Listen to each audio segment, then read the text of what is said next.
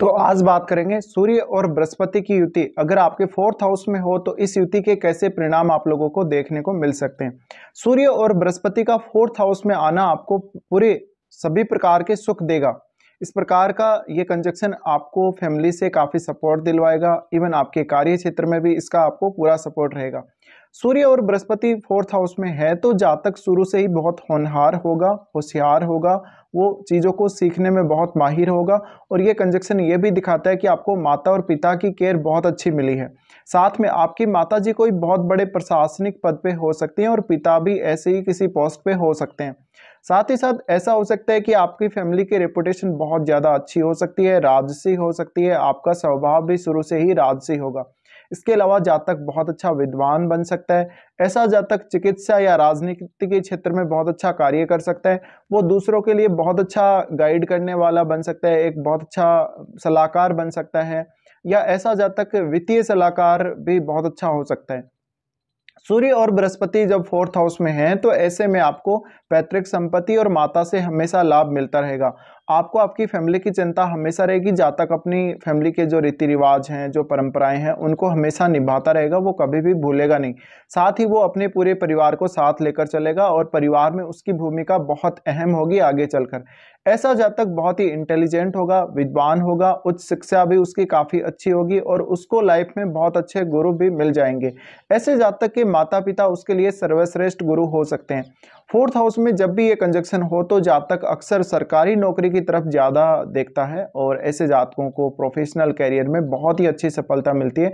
भले ही तो ये सेल्फ एम्प्लॉयड हों, भले ही ये सरकारी पद पे जाएँ। अगर सूर्य मज़बूत हुआ तो जातक का रुझान सरकारी क्षेत्र की तरफ़ ही ज़्यादा रहेगा और सरकार से ऐसे लोगों को हमेशा लाभ मिलता रहेगा। भले ही तो वो सरकार से डायरेक्ट जुड़े हों या फिर इनडायरेक्टली जुड़े हों।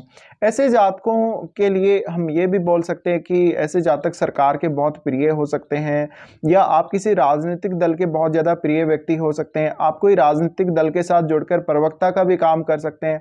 या आप कोई मैनेजमेंट से जुड़ा हुआ ऐसा किसी राजनीतिक पार्टी का कार्य कर सकते हैं। सूर्य और बृहस्पति का फोर्थ हाउस में आना, ये आपके इंटेलिजेंस को हमेशा बढ़ाने का कार्य करेगा तो जब तक जीवन में अपने अनुभवों से बहुत कुछ सीखेगा, उसके सामने जहाँ जहाँ भी चुनौतियाँ आएँगी, वो अपने ज्ञान का, अपनी बुद्धि का बेहतर इस्तेमाल करेगा। इसके अलावा ऐसे जातक कभी कभी डोमेस्टिक मामलों में मतभेद भी देख देखने को मिल सकते हैं जातकों के साथ, क्योंकि अपने परिवार के साथ कभी कभी इनके थोड़े बहुत मनमुटाव या मतभेद रह सकते हैं। इसके अलावा यहाँ पर जितना ज़्यादा स्ट्रॉन्ग सूर्य होगा, उतना ही ज़्यादा जातक के कैरियर ओरिएंटेड होने के चांसेस ज़्यादा रहते हैं। ऐसे जातक को फिर हो सकता है कि वो माता या फिर पिता के प्रोफेशन को ही फॉलो कर रहा हो। ऐसे जातक अपनी छोटी एज में ही अपना बहुत अच्छा नाम और अपनी नेम फेम बहुत अच्छी बना लेते हैं। साथ में इनमें काबिलियत बहुत ज़्यादा होती है और अपनी काबिलियत को पहचानने की जो क्षमता है इन जातकों में बहुत अच्छी होती है। साथ ही ये हमेशा कुछ ना कुछ सीखते रहेंगे, जिससे इनकी काबिलियत पर बहुत अच्छा असर पड़ेगा और इनकी काबिलियत बढ़ती रहेगी। इस प्रकार के जातक हमेशा लाइफ को इंजॉय करना पसंद करते हैं, भले ही वो अपने ज्ञान में बहुत ज़्यादा सर्वोपरि हो सकते हैं, लेकिन हमेशा एक लाइफ को अलग तरीके से जीना, एक राजसी स्वभाव के साथ जीना इनको पसंद होता है। साथ ही इनके जीवन में किसी भी प्रकार की भौतिक सुख सुविधाओं की या किसी भी अन्य चीज़ की कमी ना हो, ये इसके लिए भरसक कोशिश करेंगे। इसके अलावा इनको छोटी आयु से ही सरकार से समर्थन और लाभ मिलना शुरू हो जाएगा। अब यहाँ पे आपका बृहस्पति और सूर्य कैसी स्थिति में, ये देखना बहुत ही अहम है और फोर्थ लॉर्ड आपका कौन है? अगर इनमें से आपका कोई भी फोर्थ लॉर्ड है तो फिर और भी अच्छी बात है। अगर यहाँ सूर्य ही खुद फोर्थ लॉर्ड हुआ तो जातक के लिए और भी ज़्यादा अच्छी स्थिति करियर में डेवलप हो सकती है। साथ ही बृहस्पति वक्री नहीं होना चाहिए। अब जितना ज़्यादा क्लोज बृहस्पति सूर्य के होगा, उतना ही ज़्यादा बृहस्पति की पावर भी बढ़ेगी। और बृहस्पति की पावर बढ़ने की वजह से कहीं ना कहीं जातक को कैरियर में जल्दी सफलता मिलने या ज़्यादा ज्ञान प्राप्त करने की संभावना बढ़ जाती है। ऐसे जातक अपने शुरुआती कैरियर से ही, अपने स्टार्टिंग से ही जब वो स्कूल में दाखिला लेते हैं, तब से ही बहुत ज़्यादा होनहार और होशियार होते हैं। इनको किसी की गाइडेंस की ज़्यादा ज़रूरत नहीं पड़ती, ये फैमिली में रहते हुए भी बहुत कुछ सीख जाते हैं। साथ ही इनके ऊपर कुछ रेस्ट्रिक्शन या कुछ पाबंदियाँ अवश्य रह सकती हैं जब ये बहुत ज़्यादा छोटे हों। लेकिन धीरे धीरे ये जल्दी मैच्योर हो जाएँगे और फिर ऐसे जातकों को गाइड करने की ज़्यादा ज़रूरत नहीं पड़ती। ये हमेशा अपने अनुभवों से और अपने पारिवारिक माहौल से सीखने की कोशिश करेंगे। दूसरा, ऐसे जातकों के ऊपर अपने पारिवारिक माहौल का जो प्रभाव, वो सबसे ज़्यादा पड़ेगा। साथ ही अपने घर के परिवार के संस्कार या अपने पीढ़ियों के जो संस्कार चले आ रहे हैं, जातक के, उनको जातक हमेशा फॉलो करने की कोशिश करेंगे। साथ ही ऐसे जातक अपने किसी पूर्वज के प्रिय हो सकते हैं, जैसे कि दादा या दादी के या और भी आपका कोई भी पूर्वज है, पारिवारिक संबंधों में, रिश्तों में तो उनके आप बहुत ज़्यादा प्रिय हो सकते हैं। साथ ही आप हमेशा अपनी फैमिली की रेपुटेशन अपनी फैमिली के स्टैंडर्ड का हमेशा ध्यान रखेंगे और इसको आगे बढ़ाने की कोशिश करेंगे। ऐसे जातकों का जो व्यवहार है हालाँकि कुछ मामलों में ऐसे जातक थोड़े ईगोइस्टिक हो सकते हैं, अभिमानी हो सकते हैं बहुत ज़्यादा उग्र हो सकते हैं, लेकिन ये दूसरों का हमेशा भला करने के बारे में ही सोचेंगे, दूसरों को हमेशा सपोर्ट करने के बारे में ही सोचेंगे।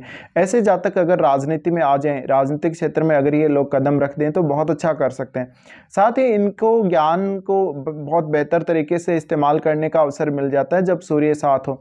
तो सूर्य आपको आपकी एक्चुअल स्थिति का आभास करवा देता है। आप में कितनी क्षमता है, आपको कितना ज्ञान है किसी भी क्षेत्र में, या आप कितना कुछ कर सकते हो, आपकी क्षमता क्या है, आपकी कितनी एबिलिटी है कुछ करने की, ये सब।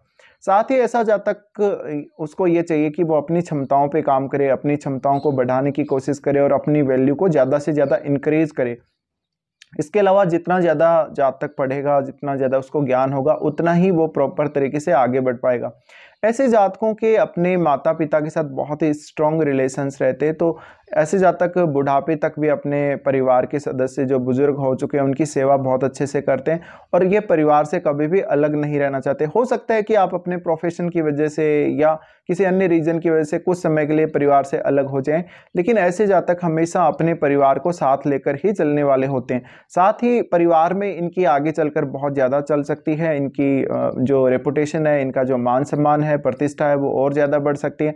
साथ ही कभी कभी ऐसा भी होगा जब जातक को उसकी फैमिली की रेपुटेशन की वजह से पहचाना जाएगा और जाना जाएगा। लेकिन ऐसे जातकों को ये चाहिए कि वो अपने बल पर अपने करियर में कुछ करें, कुछ एक्स्ट्रा इस प्रकार का ऐड करें अपनी लाइफ में, जिस वजह से उनकी जान पहचान हो। साथ ही अब देखिए, ऐसे जातक दूसरों के लिए बहुत अच्छे साबित हो सकते हैं, दूसरों को वो बहुत अच्छे से गाइड कर सकते हैं, इनमें लीडरशिप के गुण बहुत अच्छे होते हैं। तो हमेशा ये जहाँ भी जाएँगे, वहाँ पर लीडरशिप के गुणों को प्रदर्शित करेंगे और ये लोगों को लीड करेंगे। भले ये कोई आध्यात्मिक वक्ता या कोई बहुत अच्छे प्रोफेसर हो सकते हैं, बहुत अच्छे टीचर हो सकते हैं, लेकिन हमेशा इनमें एक लीडरशिप का गुण अवश्य रहेगा।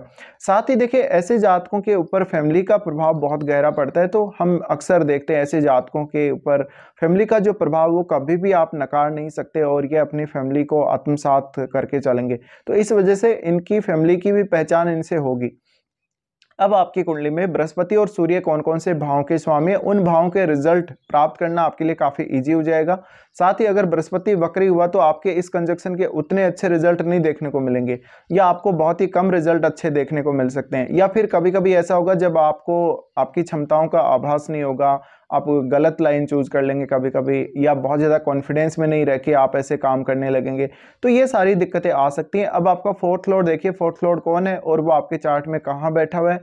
साथ ही आपकी कुंडली में बृहस्पति और सूर्य जिन भावों के स्वामी उन भावों के जो रिश्ते हैं, वो आपको हमेशा सपोर्ट करेंगे। तो उन रिश्तों पे फोकस कीजिए, साथ ही उन भावों पे फोकस कीजिए। ऐसे जातक के पास प्रॉपर्टी धन वगैरह सब कुछ बहुत ज़्यादा हो सकता है और इनको लेटर एज तक लाइफ को एंजॉय करने का मौका मिल जाता है इस वजह से। तो हम बोल सकते हैं, ऐसे जातक हमेशा दूसरों का भला ही करेंगे, अपने ज्ञान का इस्तेमाल करके दूसरों को अच्छी सलाह ही देंगे, भले ही कभी कभी वो उग्र हो सकते हैं। तो ये कुछ रिजल्ट्स हैं जो आपको सूर्य और बृहस्पति के चतुर्थ हाउस में युति करने से मिलेंगे।